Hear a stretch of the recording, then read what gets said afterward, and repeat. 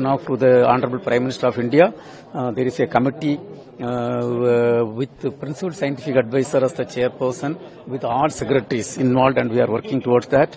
And here you will understand the entire countries, uh, the science and technology, uh, engineering, technology, science, everything is going to be showcased.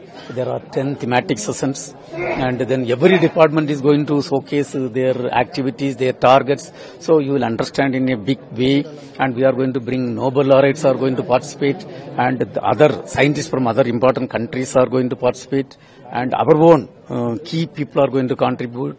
It is going to be a very, very important milestone, and this event is going to happen almost every year. It will be impact on the India and the space. Naturally, say a country, say Honorable Prime Minister uh, vision, you all know, uh, we are all working towards the Viksit Bharat 2047 and India has to become a developed country before we celebrate 100 years of independence. Towards that, first of all, a scientific temper has to be generated among youngsters, students, and the public should aware what is happening. So this will bring out all those benefits. Is there any update Chandrayaan 4? Chandrayaan 4 is an approved project. Right now we are working towards that and uh, I will say the design activities are going on and some places uh, that uh, infrastructure development is going on and we are working